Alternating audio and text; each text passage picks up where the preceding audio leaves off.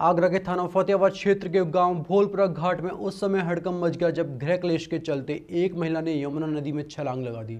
जैसे ही छलांग लगाने की सूचना स्थानीय लोगों को मालूम पड़ी तो क्षेत्र में भगदड़ मच गई और सूचना कंट्रोल रूम से उप जिलाधिकारी को मिली तो जो उप जिलाधिकारी और फतेहाबाद पुलिस ने घटनास्थल तक की तरफ़ दौड़ लगा दी। वहीं ग्रामीण और गोताखोरों द्वारा रेस्क्यू ऑपरेशन चलाया गया, लेकिन सफलता नहीं मिल सकी है। जानकारी के अनुसार सोमवार सुबह लगभग सात बजे भोलापुर निवासी 32 वर्षीय ममता पत्नी मुकेश के यमुना नदी में छलांग लगा दी।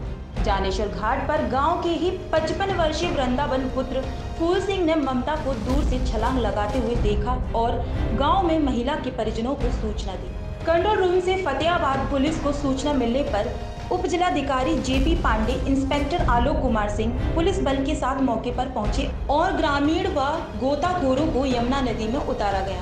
कामयाबी नहीं मिलने पर फायर ब्रिगेड से रेस्क्यू ऑपरेशन कराया गया। महिला ने यमुना नदी में क्यों छलांग लगाई, इसकी अभी तक कोई जानकारी नहीं मिल सकी है।